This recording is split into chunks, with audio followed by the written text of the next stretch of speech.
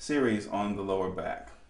Now, what we did is we decided to focus more on the lower back. Previously, we kind of tied the lower back into the upper back to intro introduce both the upper and lower back, warm up, and now what we're going to do is we're going to apply circular motions to the paraspinal muscles.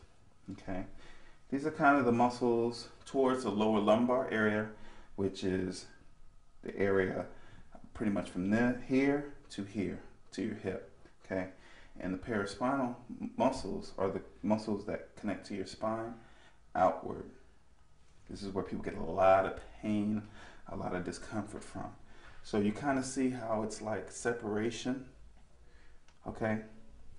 Separation of the muscle. Circular motions out, circular motions out, okay? You can also do like inward circular motions or you could do outward, doesn't matter.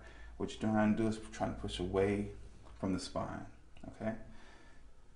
Push away and push away. Okay.